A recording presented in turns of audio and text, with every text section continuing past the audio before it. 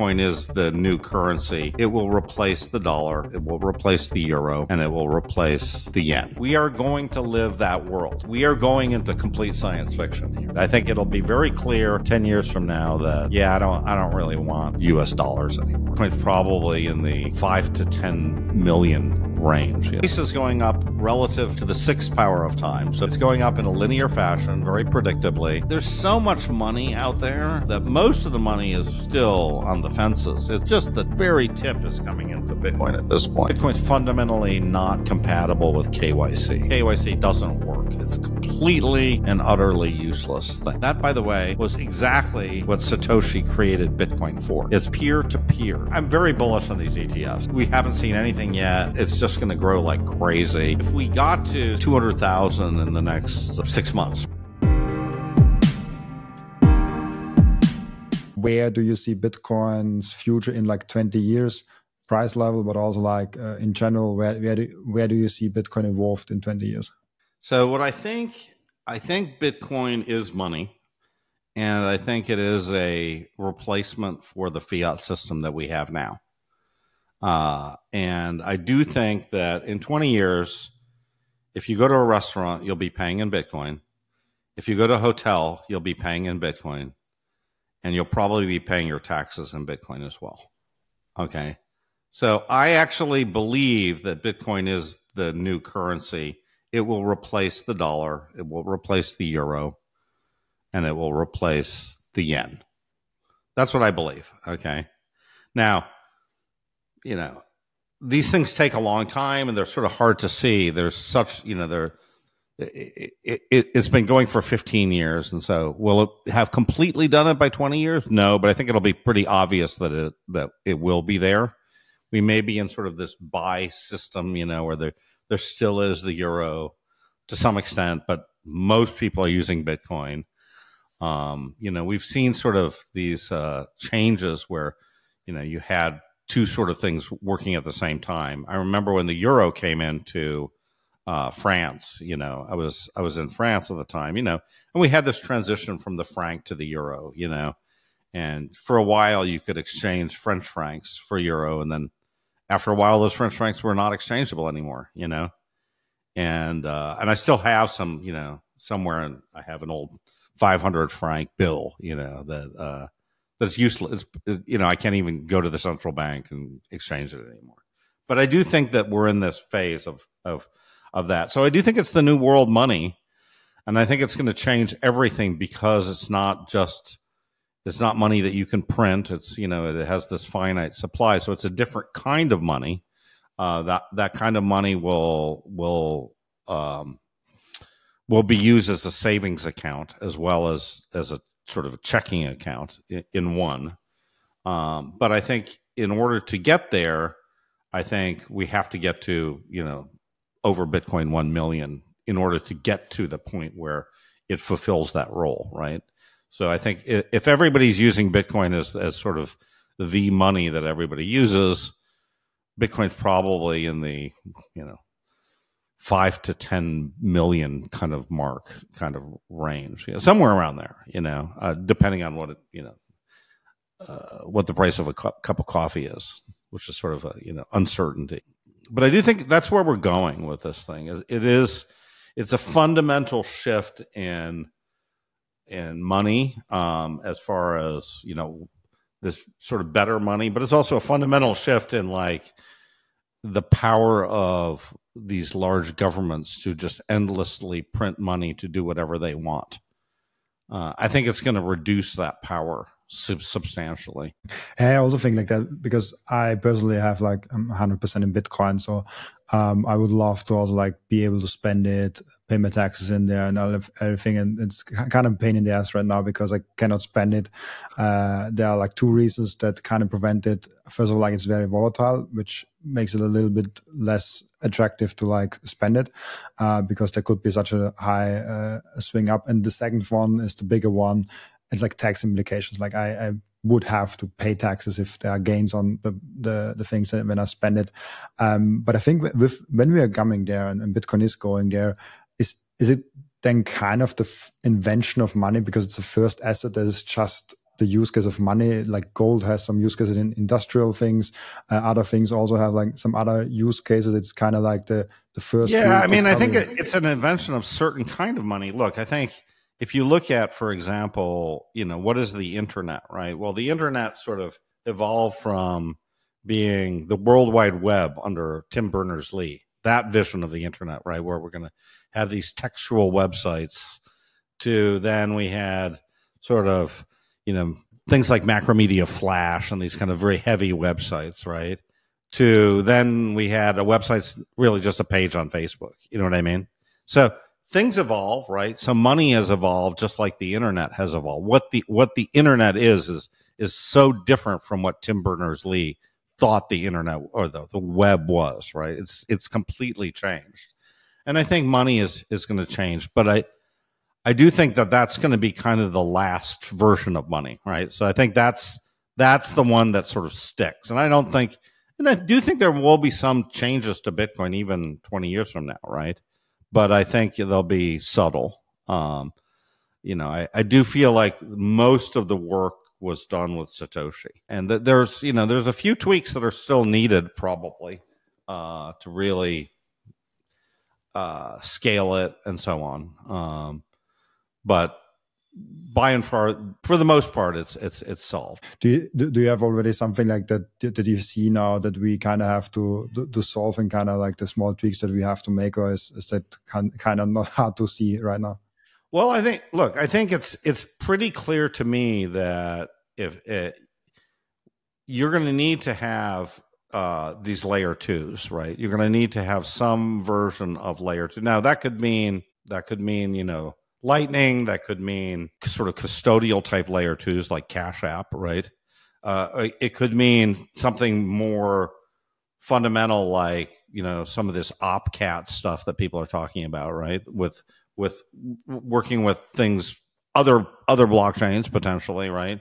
To kind of uh, to to get to make it, but you're going to need to have some changes to Bitcoin to do that. You're going to need to change have certain opcodes that are added to Bitcoin to do that. Uh, I don't think it's something that we need to worry about now today, uh, but I do think it's kind of inevitable that Bitcoin Bitcoin right now has this fundamental limit that you have about 200 million transactions per year that can happen on the Bitcoin blockchain, right? Now, if you're going to use the Bitcoin blockchain in any way, and even if it's going to be used with Lightning, right? And you have a billion people using it, you know, you really have those people can only use it once every five years. you know, so it, it, you know, unless you're, it's just this pet rock that you can hold and you can sell every five years it doesn't scale to the billion person level as is right now, right? You, you just can't, you don't get there, you know? So you need, we're not at the point of, you know, urgency. It's, but, and it can scale, right? We can get it to go up.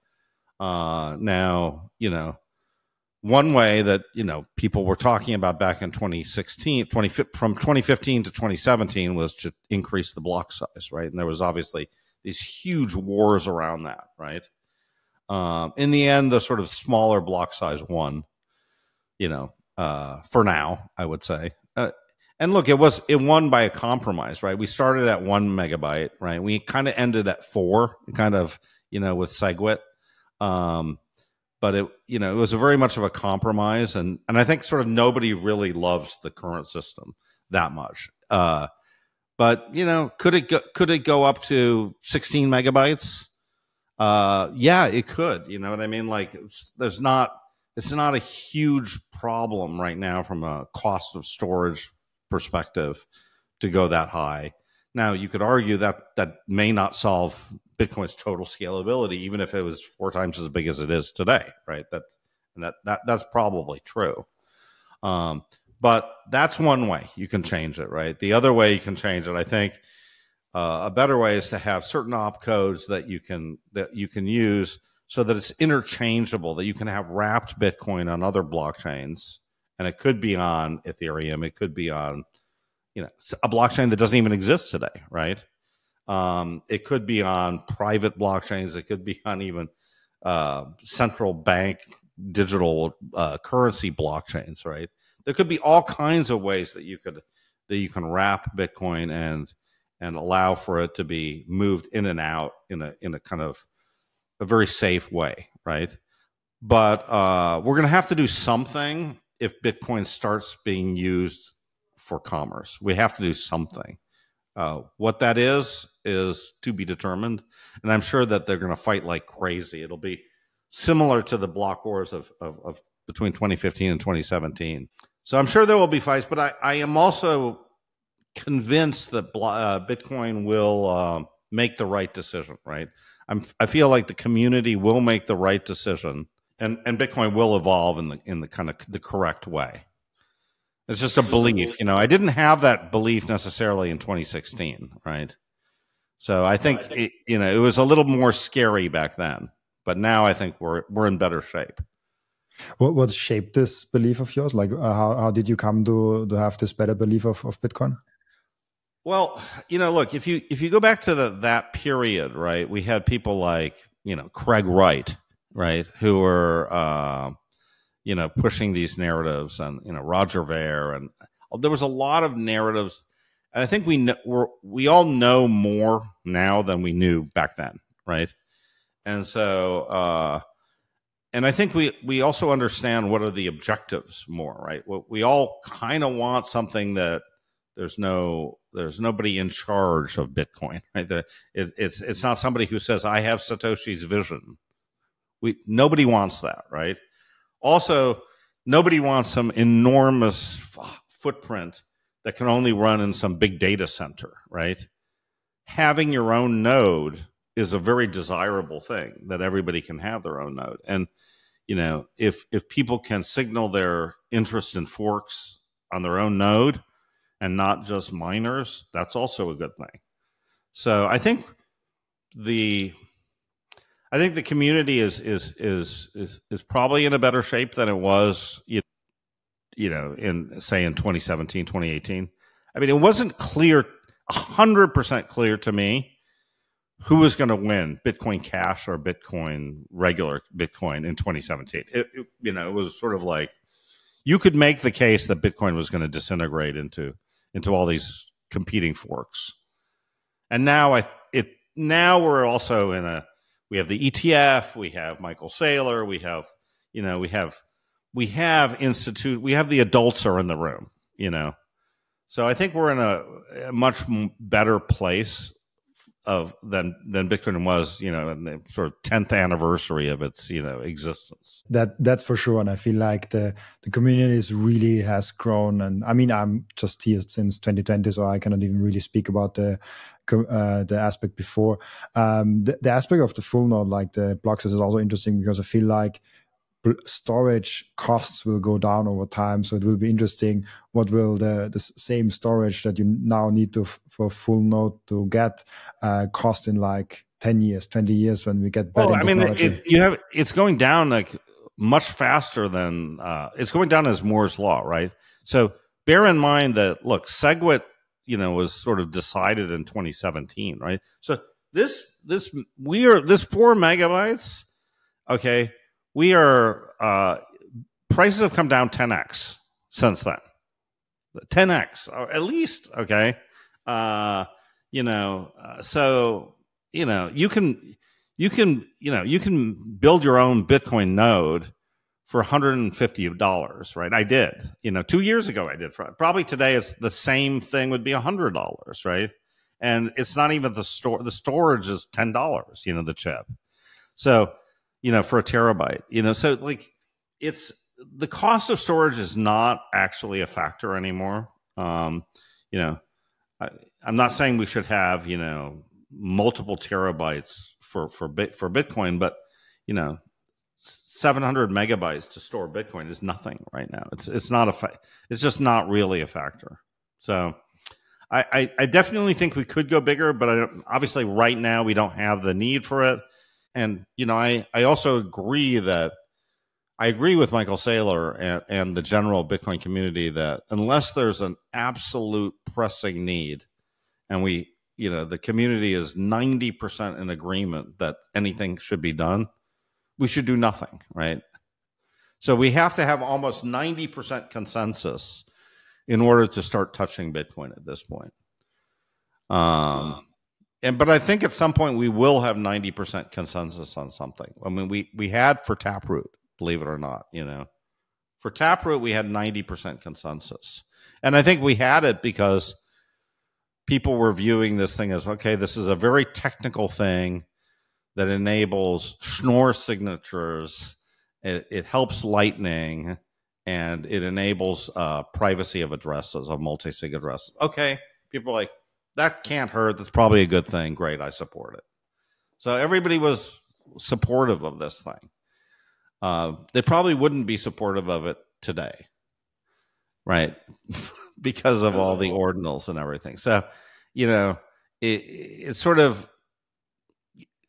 So I think that the question is, it, it, you know, if we get to a point where if, if I think if if fees got to $100 per Bitcoin transaction very, very routinely, I think we would, people would say, wait a second, this is, this is not, this is not what, so, this is not the, the, the, the, forget what even Satoshi would have wanted. This is not the correct way we should be living. It should not cost $100 to send a Bitcoin transaction. That's ridiculous. So, you know, it, it should cost a, a couple dollars or less I think, in an ideal world. That's interesting because I had, I feel like, I think Wicked it was on, and he spoke about future Bitcoin transactions. He thinks that like Bitcoin transactions on a base layer will be extremely expensive, and only for like a small institutional and small players. Yeah, I I think you lose something if you do that, right? I mean, you know, it's again that's you know we go from you have to have this enormous data center to run a node, right? That's bad because it's great to run your own node or you know very easily, right? I, I mean, to me, the one of the, the most appealing things about Bitcoin is its simplicity, right? It's a it's a small client. The client, the initial client was thirty thousand lines of code, right? So it's a very small client. It's a very simple conceptually to explain everything about Bitcoin, right? You can really get your head around the whole thing um, and and you can transact with Bitcoin. You can approach it. You can do your first actual Bitcoin transaction yourself pretty easily. You know, I mean, I could send you five dollars worth of Bitcoin. You know, not a problem. And I think if we get to these really high fees where only institutions can send it, I think we lose something. You know, it's not for the people anymore. It's sort of like you need these institutions to actually send the Bitcoin. I, I that I do, I disagree with. I don't think, you know, I think I'll have that debate with Wicked because I just do not agree with that idea. Like I'd say, uh, is that the reason we're having you know four megabyte blocks? You know, with SegWit? Like no, you know, at that point, go to sixteen megabyte blocks, go to hundred megabyte blocks. You know, but figure out some way that these Bitcoin fees should not be five hundred dollars, thousand dollars per per fee. That that does not that's not a common sense. It doesn't make any common sense to me. Yeah, it, it's still it's it's correct. I feel like. I mean, I don't think. Look, let me put it this way, Robin. You you've done some Bitcoin transactions yourself. Go back to when you discovered Bitcoin, right? You know, what was the very first wallet or uh, that you used for for Bitcoin for your uh, very first transaction? A ledger. okay, so you use Ledger, right? Now, if you if you bought a Ledger and you sent and you sent some Bitcoin to somebody else or to your, you know, another address that you have, and it cost you a hundred dollars, you would be like, "Do I really want to try this thing?" You know, you would, you know, it would. It, and, and also, you're living in a kind of a, uh, you're living in a uh, first world country, right? Now imagine you're a person in El Salvador, you know, and you're like, hundred dollars is you know a week's salary or whatever, right? You're not going to be. You're just going to be like, this is this is terrible. I don't want to have anything to do with this thing. So, I just think it's it it it, it does not make sense. I understand why people are they've gone to that way of thinking. Um, I do not think that it's needed for the security of Bitcoin. I do not believe that is the case. Okay we have sufficient exahash of, of mining power right now. Bitcoin is secure.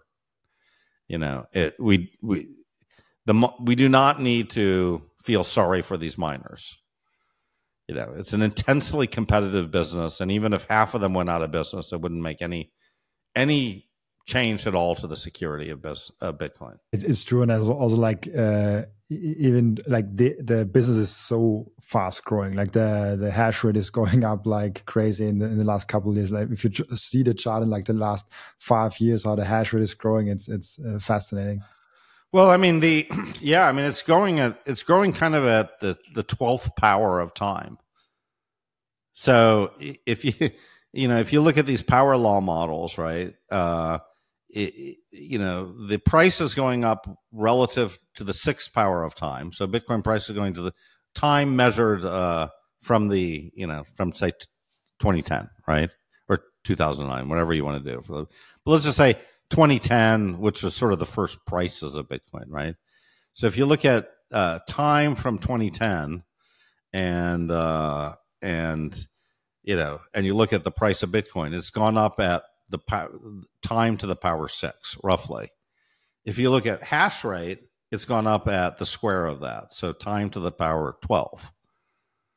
And if you look at adoption, it's sort of time to the power cubed roughly. So there's there's a very clear kind of growth uh, model for Bitcoin with these power laws.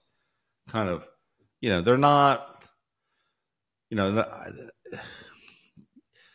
you can you could say they're kind of a religion. I do think that they're rather amazing, but there is a clear pattern of we've got this adoption that's leading to this price and that's leading to this hash rate for, for the few people that might never heard of the power law, I feel like right now yeah. most of them heard about it. But what is it, and yeah. why is it so intriguing, intriguing for you? Well, it's the intriguing thing is that um, Bitcoin. If you look at Bitcoin and you're just looking at it without looking at it in log log terms, right? If you're just looking at it normally, your your narrative is this thing is very risky right? And it goes up. It went up a lot in 2018 or 2017. It crashed in 2018. It went up a lot in 2020. It crashed in 2022. Uh, now it's back up, but it just seems completely volatile, right? Like, why would there's no rhyme or reason to this thing? It goes up, it goes down, it crashes. Now, if you look at it on a log basis, where Bitcoin price is on a log, it looks like well, it's going up, but it's sort of like going up a little less fast. And then if you look at it on a log log basis, you're like, oh, wow, this thing is kind of a line, right? It's going up in a linear fashion, very predictably, uh, with actually sort of a reasonable volatility to it in log log terms. So I think it's a it's it's an important um, discovery uh, that uh, that Bitcoin actually is is obeying this very sort of regular progression, and um, and this Italian uh, physicist uh, Giovanni kind of uh, first observed this and you know pointed it out, and nobody cared, and uh, you know he he was sort of ignored, and uh, you know, and he sort of uh, one of the, one of the things I've tried to do is try to explain to people what he's what he did, you know. And so I was sort of saying, look, you should you know, give give the man some credit. He found this this uh, this incredible this incredible relationship, and and since then, there's been a lot of other people who have looked at these laws and gone back and done the math and the analysis and the statistics themselves, and they were yeah, there is this power law. It really does exist and you know it, it it's predictive and it gives you some sense of um, where we where we where we're going which is higher but also kind of what range what kind of confidence interval do we have in in like where it's going to be in 10 years right? And so the power law tells you well we should be at roughly a million dollars per coin in 10 years but you know we have some pretty big bands around that, right? So we could be, we might be at on the low end, two hundred thousand. On the high end, we might be at two million, right? You know, so that, those are sort of some bands that you can look at the power law and you can get some idea of kind of like the range of outcomes and their likelihood. It, you know, if you just follow the statistics of this progression. Uh, and I, I, I, do believe in that broadly. I think it's uh, it's really cool because um, like I, am full on Bitcoin. Like I I I, I just hodl and, and just buy in with whatever yeah. I got. Uh, but I think it's useful to have models. Like I would not bet on it. Like I would never like, oh, I, I said it now like a, a, higher bet because the power law says like now in the next like few months we have a higher uh, growth rate.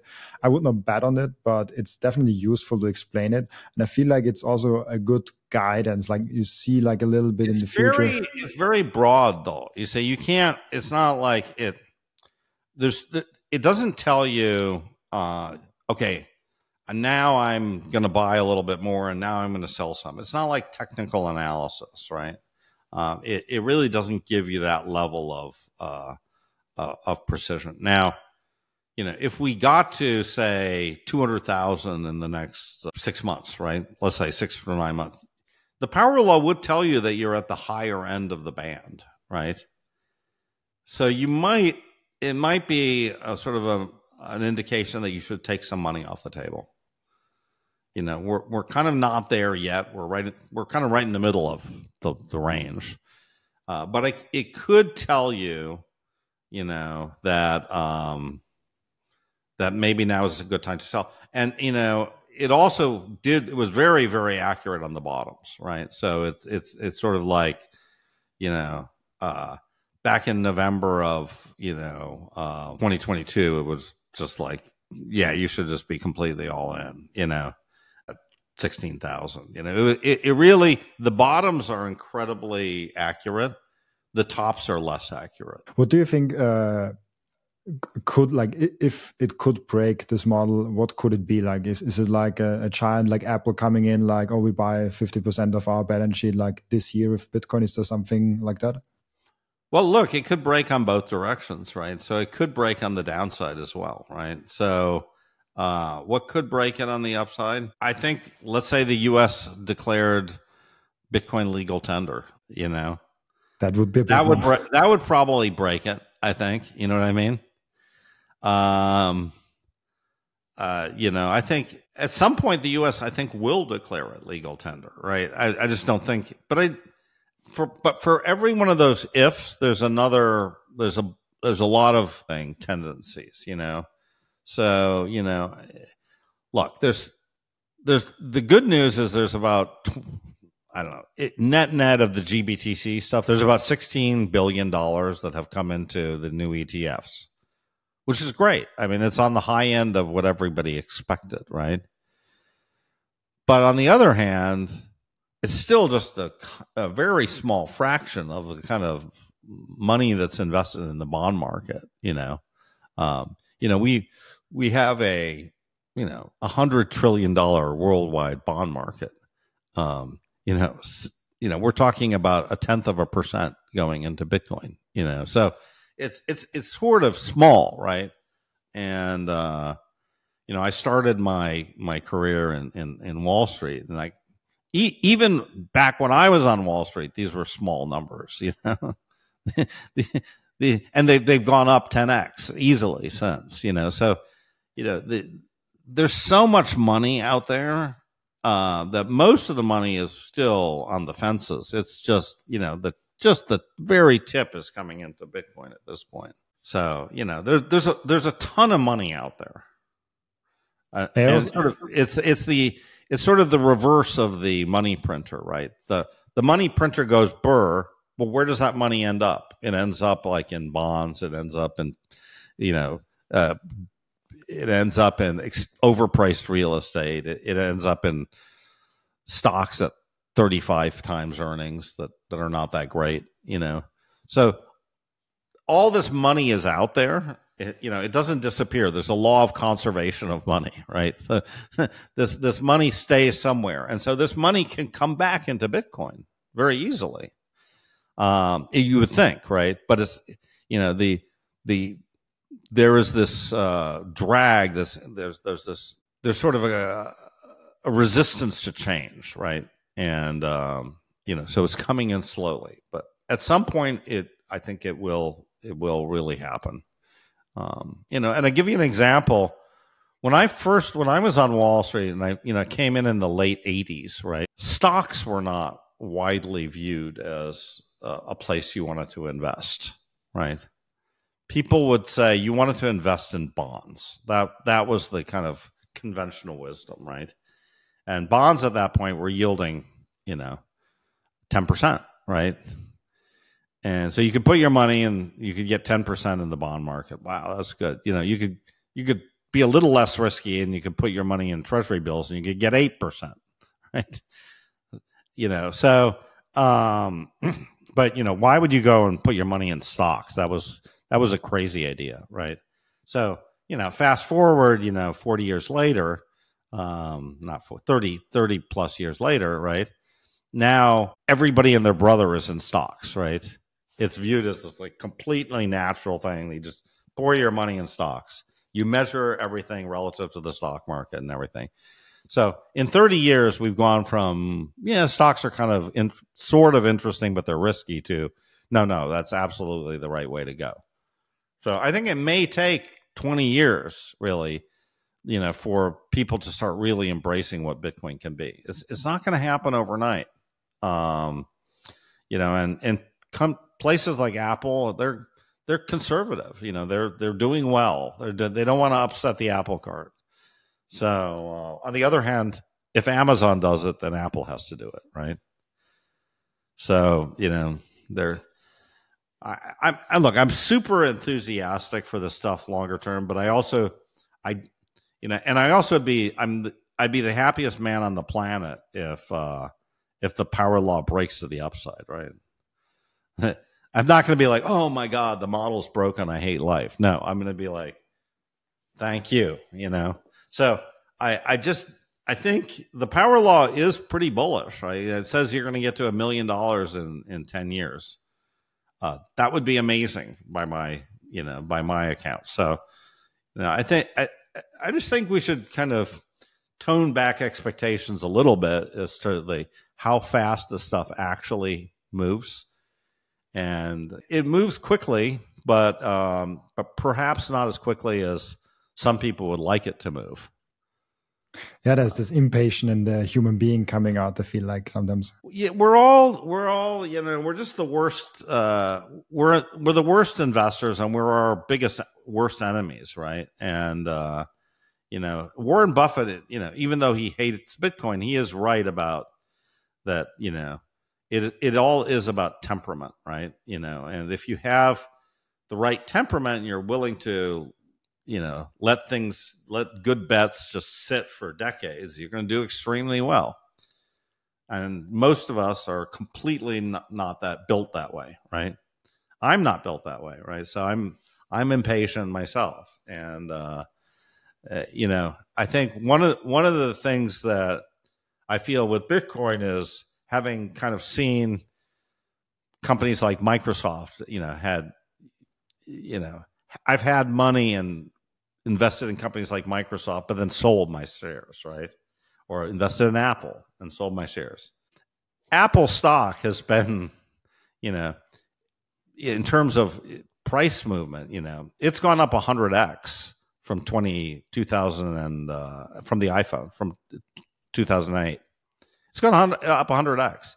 It's not quite as much as Bitcoin, but it's pretty remarkable, right? From Microsoft, from the IPO, it's gone up 3000x. Microsoft. You know, so uh, yeah, and these are old kind of things, but now we have Tesla and other things. So there are growth stories and if you're if you're in if you're kind of in finance in investments and stuff, you you see these things long enough, and you're just kind of like, okay, I can't miss the next one, you know. And so, and you know, you first have to identify it. That's usually the easy thing, right? The hard thing is not taking your money off the table. That's the hard thing, you know, because there's some something somebody says, uh, Robin, you know, it's uh, You know, it's time to time to settle down. You need a bigger house. Uh, you got to think about those kids. You know, it's not all about Bitcoin. And you're going to be like, yeah, okay, I'll sell my Bitcoin. I'll buy a house. You know, something like that. You know, uh, so there's there's all these voices inside you. Some advisor is going to be saying, well, okay, your Bitcoin's worth a lot of money now. You should diversify. You know, I recommend this diversified strategy. And uh, you know, if you listen to that person, you may sell all your Bitcoin, right? So, and I don't even think this is a Bitcoin specific thing. It's just a, you know, look right now, Steve Ballmer owns more has is a higher net worth than Mike uh, Bill Gates because Steve Ballmer just kept his Microsoft and Bill Gates diversified into farmland and you know medical stuff and whatever. But Steve Ballmer just kept his his uh, Microsoft, and so now he's worth more than Bill Gates. So I, I definitely think that time in the market is really important here. Uh, and so you know, congratulations. You know, you, you you've identified Bitcoin as a winner. Now let's see if you can hold on not even do anything different not even like add to what you're doing but just hold on you know to what you got you know that that i think is the that that's the challenge we all face right? Thank you. You already made it halfway through the video and i'm really really grateful to have you here. Two things make this channel possible. You as a watcher and listener who keep supporting this channel and another one is all the bitcoin brands that i partner up with like 21 bitcoin who support me from the very start and where i personally buy my bitcoin from. With code robin you even get a discount when you buy bitcoin with them. And now also Bitbox. Bitbox is the simplest and securest way to secure your Bitcoin. And I heard a crazy statistics. Only 2% of Bitcoiners hold their Bitcoin in a hardware wallet. How crazy is that? Don't be in that 98% bracket. Be in the 2% bracket. And if you have self-custody and you know your friend does not have, maybe he needs a Christmas present. Maybe he needs a birthday present. And a small life hack, if you use code Robin, you get 5% off your order plus you support my channel. And now let's get back to the video. The, the doing nothing part is the hard one. Yeah, I, I, I mean, I come, I, I come from the stock world, and I was really big on Tesla. I mean, like 1100% or something like that and I actually fronted everything then in, in into bitcoin like i did that before with other stocks uh, right, then i right. went all in, in, in tesla and now i'm bitcoin i mean both tesla and bitcoin did kind of well since then but uh, it's it's it's hard to stay on one thing, like not to get excited about other things, like just stay there. And I want to get in this uh, because you have done a lot in your life. You have done uh, with math, you have Wall Street, with all the things that you have done in life. Um, what are maybe connected with that? Some strategies, some some learnings that you have that you are now getting into with Bitcoin. Well, I mean, first of all, I think math is a great subject that every, if if you're going to college or something, I always tell people like take take a lot of math, right? And uh, and the reason I say it is you never know when you're not when you're going to be able to use that math or the, that way of thinking, right? So um, you know, uh, I think you know it's not directly applicable. Nothing you do is directly applicable, right? But I've noticed that math people can think about problems really quickly, and they understand they understand these problems quantitatively much better than other people. So I think the math is a great kind of tool to help form your brain uh, about things. So I, I I love math, and I've used math throughout my entire life. You know, when it, whether I'm you know working on some advertising thing or anything else, I always I always look at life very mathematically. Um, you know, I think the uh, uh, you know, learnings about life in general. Um, you know, I think it, a lot of everything is timing, right? So, uh, you know, it's sort of you got to be at the right place at the right time. Now, at the right place might be, you know, in Bitcoin, right? When Bitcoin's going, right? It might be being in Stanford, right? In the 80s, you know, when kind of like you walk around and, you know, you see the laser printer being invented or you see the you know the Xerox PARC that led to the the the Mac, right? Uh, so you, you sort of you're just around things when they're percolating. That they're percolating somewhere, and so being in being in the right place at the right time is really important. So that keeps on changing, right? So I would say right now, what's the most interesting sort of thing that's happening in the world by far is artificial intelligence, right? That's that's probably the thing that's going to change our lives the most. Um, and over the next 20 years, you know. And uh, so I would say focus on the higher order bit, which is what what is the thing that's going to change the world the most? And I would say right now it's probably AI is number one and Bitcoin is number two. That's that's what if I had to rank them. Now, as far as an investment, unfortunately, I don't think you can just invest in AI. Right? That's because we don't have there's no clear you know, you can invest in Google, they're doing some AI, you know, you can invest in Microsoft, they're doing some AI. But it's not clear who's going to you know, who's going to win AI. It's just not clear, right? Um, just like in the internet, you know, if you ask people who is going to, what's the best internet play, at probably a lot of investors would have said Cisco, right? Because they make the, they make the routers, right, that everybody needs in the internet. So that would have been sort of the consensus play, right? So NVIDIA right now is sort of the consensus play for AI, but it's not clear to me that you know the maybe the application layer on AI is really going to be it. Maybe you know maybe it's really Chat GPT just ends up becoming you know the AI play for the next twenty years. We don't know, right? I would probably bet on Chat GPT, right? Right. If I if that was a public company, I would want to own that company, right? Just because I it does feel to me like that's the next Google. But you never know, right? So, you know, it's it's it's a hard one to handicap. So I think from an investment perspective, I like Bitcoin. From what's going to change the world, AI is going to change the world. You know, it's going to change the world the most because if we if we can have uh, machines that think and machines that can build factories, you know, you know, like if a machine can decide how to build the next Tesla factory, you know, like what what are we needed for exactly? Not not clear that we have any role at all, right? Just you know, just kind of entertain us, produce produce movies for us to watch. I don't know, you know, but it's uh, you know, I I think it's AI is something as significant as the industrial revolution, you know, and we're kind of the we're kind of the uh, you know the city dwellers of of Europe in the 17 the early 17 or 1600s, you know.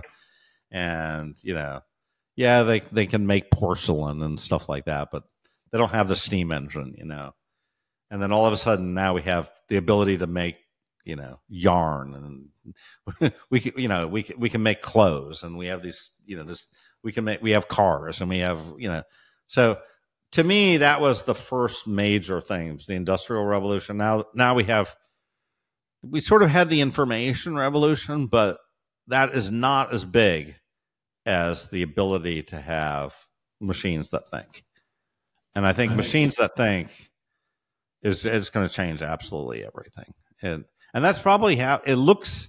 I did not think that would happen in my life. Um, you know, it was, and then when I was at Stanford, I was uh, is is interesting because I actually have a paper uh, a published paper in AI uh, from 1986. Yeah, in the IEEE transactions of uh, artificial intelligence and pattern recognition. So I was I was dealing with sort of Tom Cover and the stats and uh, information th- science department at at uh, Stanford, and we were talking a lot about AI in the time, and um, it was it just it didn't seem like it was going to really work, right? Well, but there were certain ideas of machine learning, right? Even back in the 80s, you know, it just didn't really seem like it's not maybe this approach is not going to work, right? And so, you know, and I've, I, you know, for the last 30 years, I've been sort of uh, bearish. I sort of think I, it'll never happen. They'll never be able to understand talk would never have chat gpt in my life you know and so to me this is absolutely magic that that it, that it's that it's that it's already where it is and you know i i think where it's going to be in five years is going to it'll change everything right? It will absolutely change everything. So i think it's that's a really positive thing and if i was you know advising a young person right now you know and i have um, a son who's about to you know he's going to go to college year after next you know and i'm i'm sort of like like you need to whatever you do you can be on the business side of it you can be wherever you are but you need to realize how ai is going to impact the world right? There's you don't have to necessarily be a coder right? You could you can be any there's but there's you want to be around that right? You want to be you want to be around that that level of that nexus of of uh, excitement.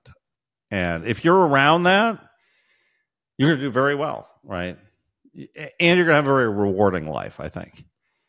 So i think uh, that's what i would do. I would just i mean i know i would probably just be completely engaged in ai right now. Um, but you know it, it, it's it's something that's fine to look at too and just sort of observe and you know, maybe you have something that you can add or somehow with the area that you're getting involved in but it definitely feels to me like uh, we're gonna we're, we're gonna be on some kind of hockey stick with ai very soon you know and i just have absolutely no idea where it's going you know like the the idea that elon musk can say that there's going to be two humanoids per human two robots per human is just insane to me. But it, you know, it's probably accurate. You know, I, you know, we probably towards the end of my life, I will have a robot that does the dishes.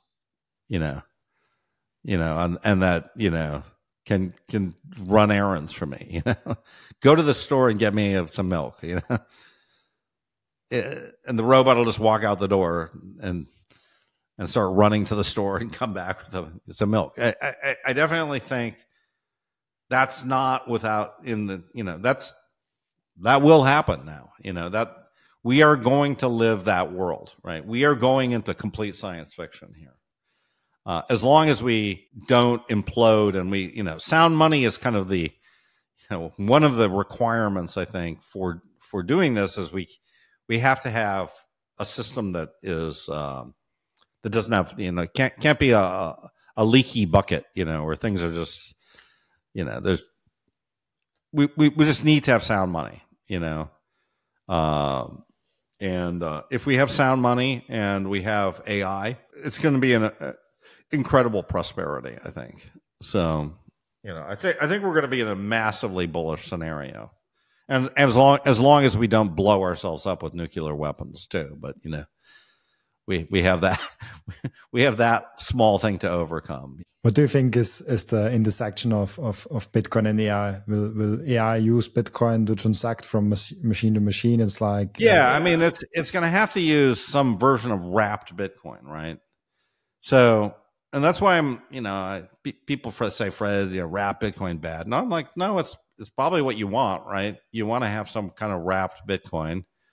You know, let's just say I'm not going to say I'm endorsing Solana here, okay, but I'm not because I don't and I own no Solana or anything. But like, if you had a wrap Bitcoin on Solana that you could 100% trust, right? That you know, not that you could just audit it, but that you know that it's like you could audit it every second, okay?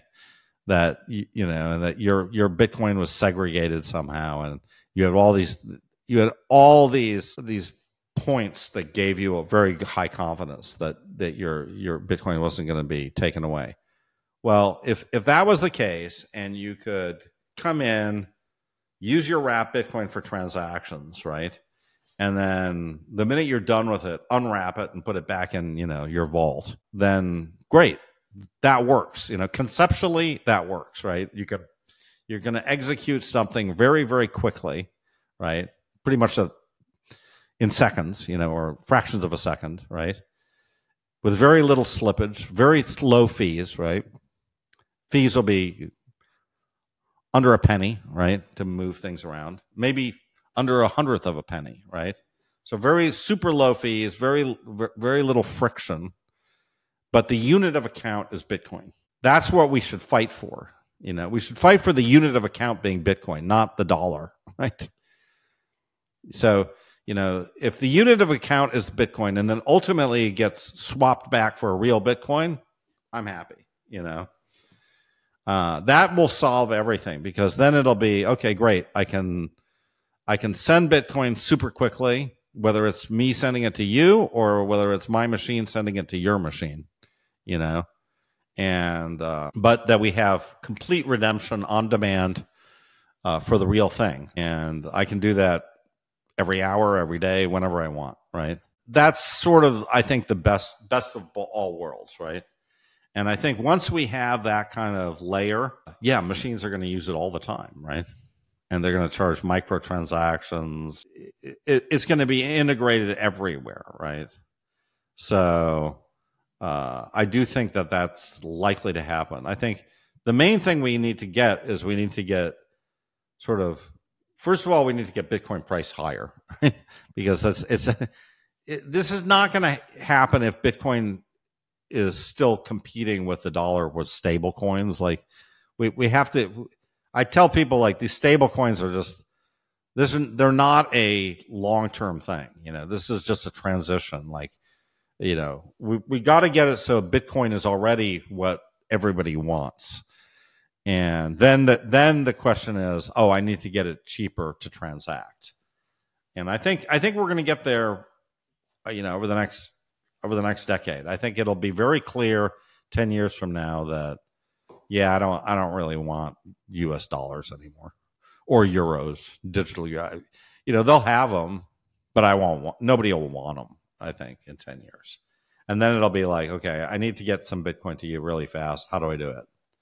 That that that'll be that'll be the the, the thing you ask.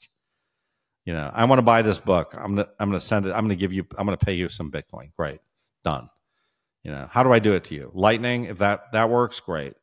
If there's something else that works better, great. But it, it better be like 100%. Have 100% success rate. Like right now, Lightning's not it's not there, and I'm not completely convinced it'll get there. I'm a, I'm a fan of Lightning, but I'm I'm not I'm not uh, a hundred percent a believer that we're going to get that Lightning is going to scale to where we need it to scale with the system that that it has. David Marcus may disagree with me. May get him to on your show you know, I'd love for him to, to kind of update us all on, you know, on this stuff. And, and, you know, we really need governments to, we need governments to, uh, as you said, like we, we can't have the taxation of this. We can't, a small Bitcoin transaction should not be taxable, right? We shouldn't have to report that, you know, I'm, I'm buying a, you know, a movie ticket with Bitcoin. So we, we have to figure out the taxation part of it and the reporting parts of it and the money laundering, you know, KYC parts of it. I, we, we can't. I think Bitcoin's fundamentally not compatible with KYC to me. That, that that's interesting because like the like I don't know uh, where it is like where, where, you are, but in in Austria, like there, it, it gets harder and harder to get no KYC Bitcoin. I mean, you get always like when you just meet up with people, that like apps like Vexl where you can write people like, "Hey, uh, do you want to exchange something?" Uh, but all the exchanges, like they even do your taxes for it now. Like if you have a um, exchange, you they do the taxes for you and stuff like that. So like KYC is uh, I don't like it, uh, but it's it seems like more and more like the standard for Bitcoin. It's like the maybe it's just because we're in the transitioning time now. Well, look, I'm I'm sort of of the opinion. Look, I think a person to really follow here is Eric Voorhees, right? And you know, look, first of all, KYC doesn't work. It's completely and utterly useless thing. It's not preventing anything. It's not doing anybody any service. It's not it's not stopping crime. It's not doing anything, right? The only thing it's doing is making Bitcoin transactions more hard for people. That's all it's doing. It's like this layer that's just designed to make Bitcoin less usable. That's it. So I really don't think we need KYC. I, I, I would, I mean, I would debate with anybody, Elizabeth Warren, whatever. I don't care, but I, I just don't think it's it's actually useful. You know, we should not care. Um, you know, if somebody's transferring some Bitcoin, does not need to go through. We don't have to have somebody checking whether you're a criminal. It's it's fine. We we have to have free and open money, and that, by the way, was exactly what Satoshi created Bitcoin for. Right? It's peer to peer. You know, it doesn't. It's not peer to peer with a KYC in the middle. It's peer to peer. You know, I can send you some money, and the you know Christine Lagarde is not in the middle of that transaction. You know, and I can send it to you, or I can send it to you know your cousin who happens to be in Iran, right? It should, you know, when a when a, a bird flies across a border, it doesn't it doesn't stop at customs, you know, it just flies across the border. so we have to be in this fluid world where there's this thing called money, which is Bitcoin, which doesn't care about borders, you know, which is completely neutral. Um, and uh, yeah, and, and, we shouldn't be doing these sanctions, right, to places like Russia. If you don't like Russia, there's other places, other ways to fight Russia, right? Like if you want to fight Russia, actually go fight them on the terrain in Ukraine. Go f- with guns, you know.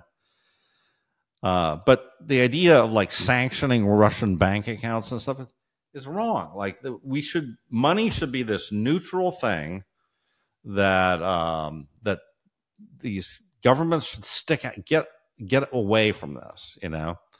And uh, I know it's it's very hard because they want to they want to be in control, right? And there's this huge tendency for them to be super in control, like in China, right? Where they can say, "I'm sorry, you said something bad on uh, social media, so you can't actually use the train anymore. Your, your train privileges have been revoked.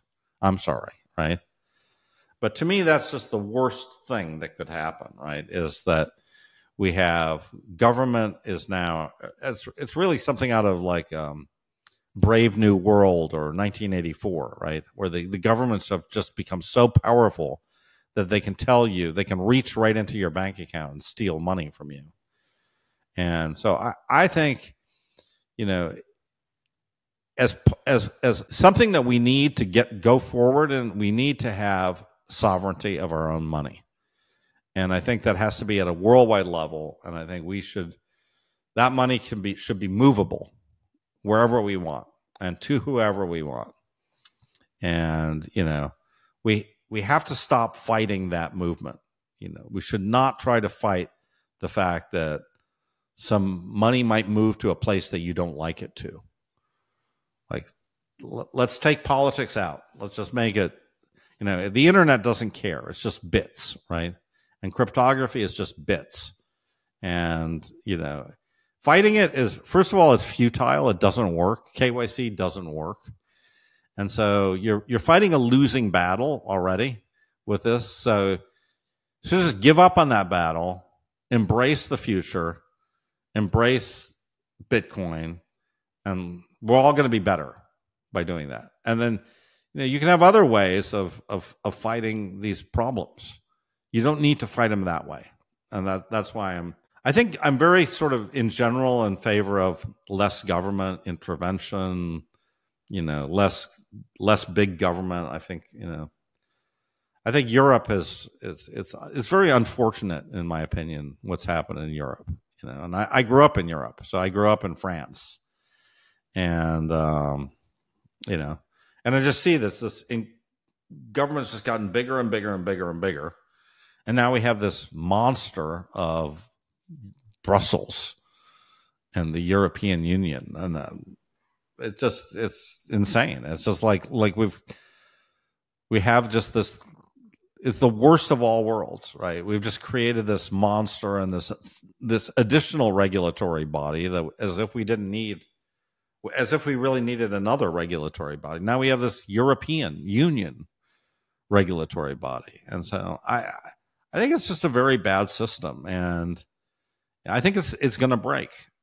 I, I definitely think this European system will break, and I think it's it's we're starting to see that now.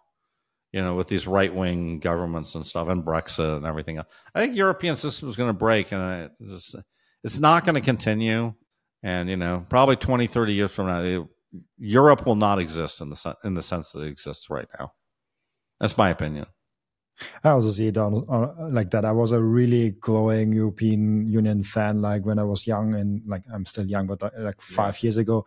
Uh, but with Bitcoin and uh, developments like the last like two three years that I've seen, I'm really skeptical of the European Union, what they're doing and stuff like that. Uh, they're doing small things really wrong. Uh, the big things I'm not a fan of. Like it's it's it's fascinating. But well, look, I mean, I I've done. I started a company in Germany, uh, in you know, back in 2006, and uh, you know, we had we ended up having a very good exit on this company. Um, but you know, so I know the German The Ger- Germany was was a pretty good place to be in 2010. You know what I mean? And now look at Germany today. Okay, I mean it's unbelievable. I mean the industrial production is going down. They're shutting down their nuclear reactors. I, I just don't. It's just it's insane to me how how Germany has gone from the you know this engine of growth to I don't know they're it, so I I'm not a fan. I think uh, you know I definitely think that you can go wrong.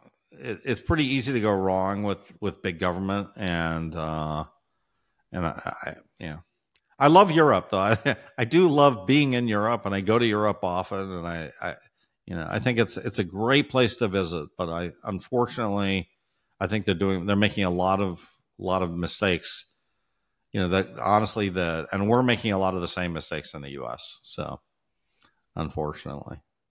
Where would you when when you have like no family no connection no anchor points in any country and you are like a freedom loving bitcoiner where would you be? In which country? What what would be the best place you think? Probably singapore right now. I mean you know it's sort of you don't have the complete freedom to do whatever you want right? You know you can't you can't uh, you can't you know necessarily chew gum and throw out your gum. You might get you might get uh, reprimanded for that pretty pretty bad. But uh, but look, I think you know I think there's not any really great answer to that question, right? Uh, you know, every every place has its drawbacks. Um, but you know, one of the good things about Bitcoin is you know you're you're you you do get you do have more options, right?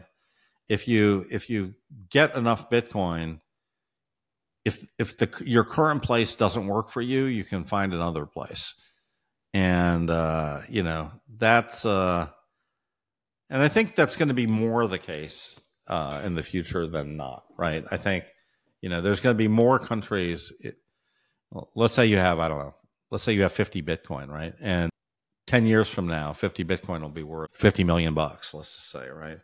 I think you'll be able. You'll have a very wide choice of um, of places where you can go relocate with your 50 Bitcoin. I think there'll be a lot of people saying, you know, come come to come to Iceland, uh, you know, or would you like to come to Peru? We have a we have special uh, you know visas for Peru. You know, like wh- whatever you want to do, right? So I think it gives you a lot of options, and uh, and you know, and I think even moving fiat money is not necessarily even that that easy, right? So you know, it's just you know, if you're European and you want to come to the U.S., you know, you're going to be filling out all kinds of forms and everything, and so I, am I'm, I'm hopeful that we're going to have more of a fluid world in, in the future, uh, and definitely you know, having a lot of Bitcoin is kind of it gives you that sort of worldwide passport, but you know you know, you'll be able to pick and choose some some good places to live. One thing before we come to the end routine that yeah. I thought about when you talked about KYC, do you also see a problem or like a threat to centralizing where coins are held, like Coinbase, Bitcoin ETFs, the massive uh, honeypots? Do you see this as a threat? Perhaps. I mean, uh, I think I think we're still at the very early stages of. Um, I mean, look, the ETF is you know what six months old, so you know I think some of these things are going to they'll they'll diversify. You know, they just haven't done it now for they just wanted to. This is they just have to submit something to the the SEC as to where they're going to be holding their coins. Um, but uh, you know, a more we're going to get to more we're going to get to better solutions than just having Coinbase hold them. It's not something that worries me right now today. Right, I, I don't think that that's a problem, and you know, you, you but you should probably diversify yourself. You know, if you're holding ETFs, hold a couple different ETFs. Right, buy the Fidelity ETF; they do their own self custody. You know, also have you know the BlackRock ETF. Um, I definitely think also we're going to get to so in kind distribution of ETFs in, in the next couple of years. So, you know, an ETF can be viewed as kind of a wallet in a way, right? So, you know, I I think that you know there's nothing quite like self custody, but self custody also is you know it's it's somewhat tricky for most people um, you really need to use multi-sig. And what that really means is you really need to use a service like Casa or Unchained Capital or Relai, I guess, as in Switzerland does it. Um, I'm not so so familiar with the European, you know, who does who does multi-sig in Europe? Who who does it in Europe? Multi good multi-sig. I mean, you can also use uh, Casa and Unchained in uh, in in uh, Europe actually yeah. Uh, but uh, there are like also services like the Bitcoin Way and and and um, right. Yeah, I was thinking sort of European specific ones, but I uh, don't. but I, I don't know specific Europeans that. Yeah, I, I mean th- those those those are those are both very good services. Okay, so um, you know, I I use Casa myself for for for some of my Bitcoin, and I also um, I'm very familiar with Unchained, and I recommend it highly. So uh, uh, and you know, you should also have the founder of Unchained, well, Dhruv. You should get him on your show. Oh yeah, definitely. I had some. Uh, I think two people already from Unchained on, but the founder was was not there. I, I definitely have to get him. Who did you have? Oh man, uh, Trey Sellers, I think it is his name. Okay, yeah, uh, yeah, I, yeah. Forgot, I forgot that. I wanna.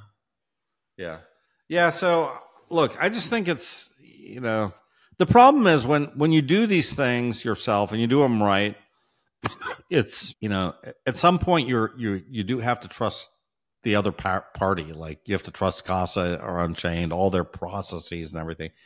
They're probably not going to ever lose your bitcoin but you know you know if if unchained went their website went dark you know all of a sudden you know you as a you as a uh, unchained customer you would be like what what what happened? Where's my money and even though you probably have a way of recouping it and everything, it'll cause you probably a minor heart attack that day.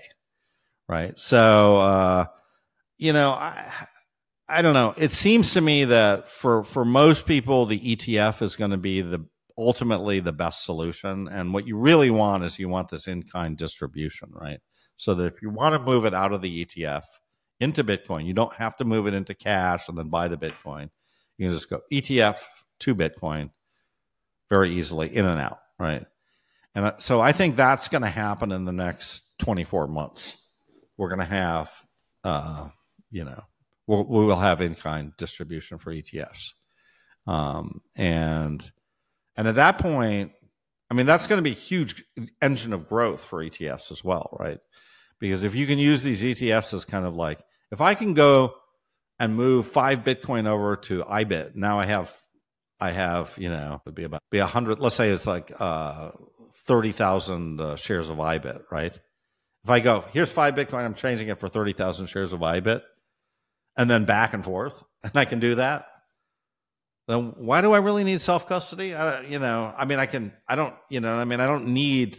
I could just have a ledger and just move move it back and forth with my ledger, and you know, I don't really, I could use IBIT for most of my stuff or whatever Fidelity or whatever it is for most of my Bitcoin.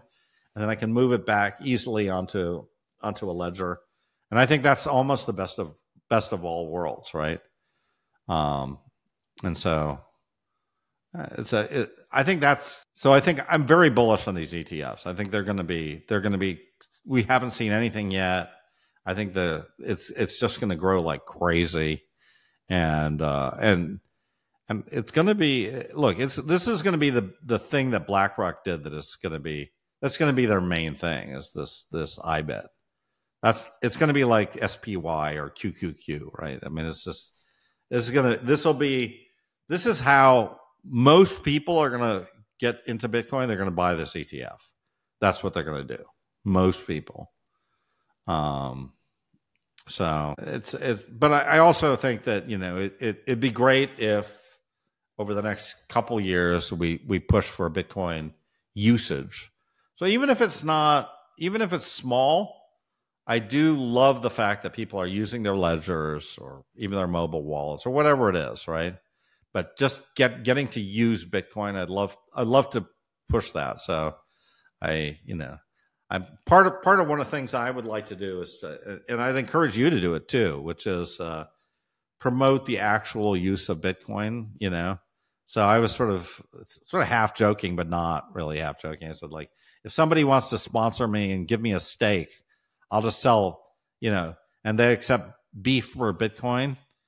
I'll grill the Bitcoin, the steak. I'll taste it. I'll tell you how good it is, and I'll send them to their website. You know, and you know, I think it's, I think that's something we can do. You know, uh, I think it's a very good thing that people actually play around with Bitcoin a little bit more and buy stuff with it and and get get you using it. And it, it's not going to impact the price of Bitcoin. The price of Bitcoin is going to be for savings and everything. But I do think it's I think it's part of the thing is using Bitcoin, you know. So yeah, so, so yeah. I, I get paid from some of my sponsors in Bitcoin, so uh, there I, you go. That that's that's a really cool uh, feeling from like a Bitcoin company sponsoring a Bitcoin podcast that they are paying in Bitcoin. Who are some of your sponsors, by the way? I'm just curious. Uh, I have uh, Bitbox. I have uh, okay. the Bitcoin Way, uh, and I got also 21 Bitcoin. Uh, but they are just in Germany and Austria, so uh, okay. we kind of right. resolved that because my audience is mostly in America, UK, and Canada. Right. But those are like Bitbox and, and the Bitcoin Way, and there are some new ones coming out probably soon. So, Robin, give me your send me your address also in your um, your your phys- a physical address or a PO box and I will send you a copy of my book. Oh, I would love to. Uh, yes, I, I, uh, I, I, with my co-author, I have two co-authors on this book. One is uh, Ben Sigman, and then we have a designer, Lee Steffens. And we we put together a book, and we uh, we we sold out of the book, but we kept uh, we kept hundred copies for for friends and family and other people. And so I'll be happy to give you one. But we sold out in uh, in 13 hours and we sold 900 copies of this book at $200 a copy. So we we That's we amazing. took in we took in $180,000 in under 24 hours. But we've we built this book and we sold out. I, we're not sure what we're going to do from here. It's sort of it may just be a one off that we just did this one book, but um, uh, what we might do a second edition. Uh, but it's it's it's a it's a coffee table book and um, and I, I hope you like it. But we've we've gone through and we've interviewed a lot of people, a lot of the OGs. Uh, we've we've we've we've done a, a ton of research and and we produced all these graphs and stuff and you know like charts and all that. So, but we tried to make a very beautiful kind of art book. Um, so uh, it's sort of like a Taschen style book. Uh, it, is it with a lot of visuals and and stuff and graphics? It's all visual. It's not. It's almost. It's very little text, so it's a very different. So it's a, a very different thing. Yeah. So it started out as a. It started out as almost like a te- regular textbook, tech video. You know, a lot of like every other book on Bitcoin, and then I started writing it. And this guy Lee came to me and he's like, "Look, Fred." you seem to have a lot of reach and, and you're kind of disruptive on Twitter and I follow you. It's like, would you consider doing a a different kind of format book because format really matters? And I'm like, hmm, yeah, I think I would.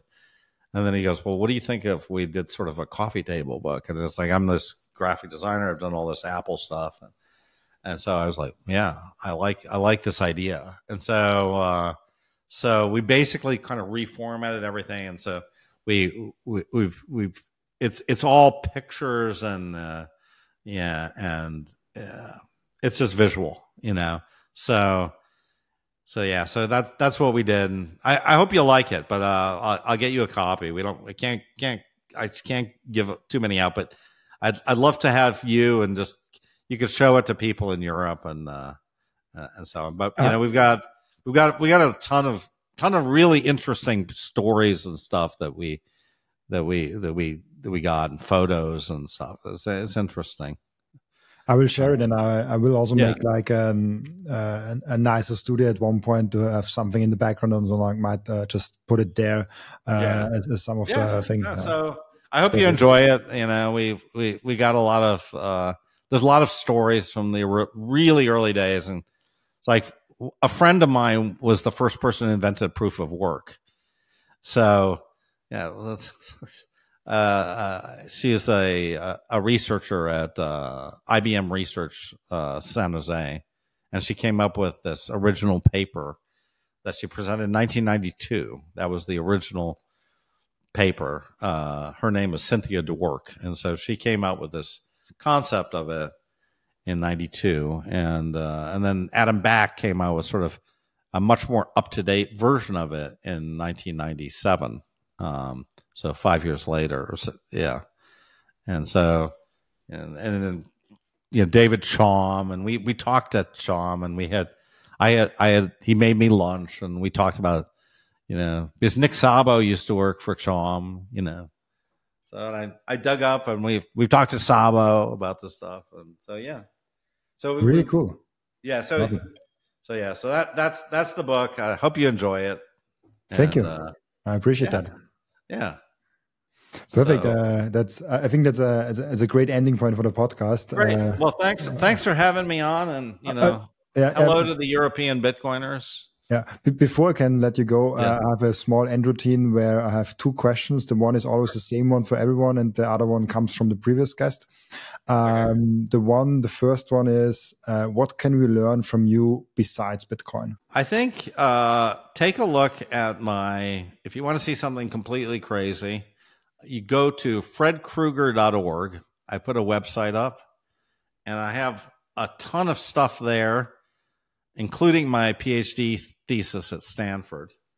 Uh, if you want, if you want to look at just completely in, insane research project I did on uh, arrangements of hyperplanes and dearrangements and uh, random polyhedra that I did in 1986, and uh, there's there's a lot of crazy stuff, including some stuff on power law, various other oddity, oddities and mathematical things. So there, there's a whole bunch of stuff there on Fred Krueger and things that I find interesting, and also people that I find interesting or videos that I find interesting and art that I find interesting. So I just put it up there. You can look at it.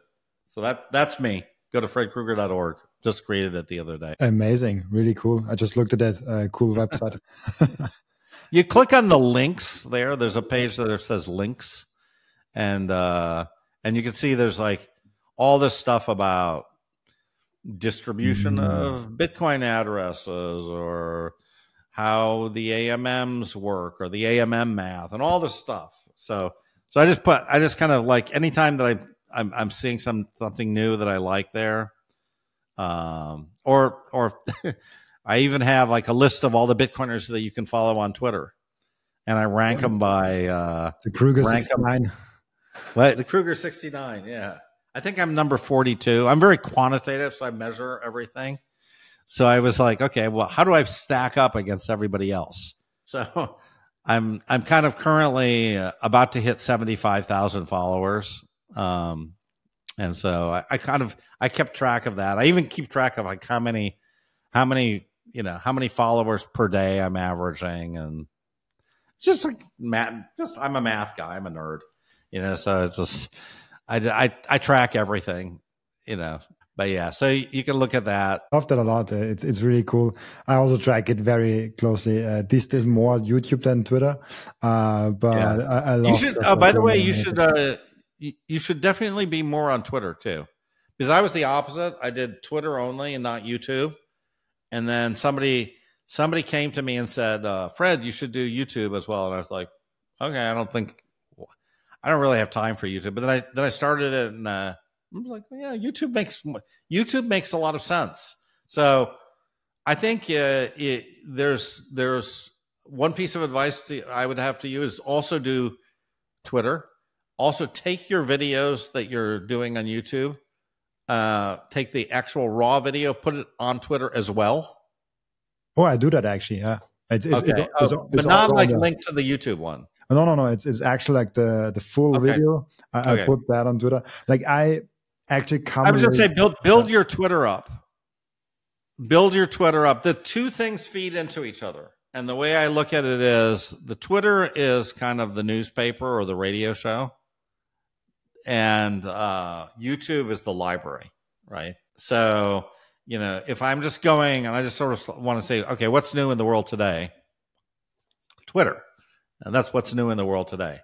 And then there's where was that one video of him interviewing Saylor? That's YouTube, you know. So so the library, so the Robin Seyr library can be YouTube, but I want, I kind of want to see, I kind of, you got to develop a little bit more your Twitter personality or presence. So absolutely, you can do that, and you can you can surpass me on Twitter. I, will, I will try my best. Absolutely, absolutely fine.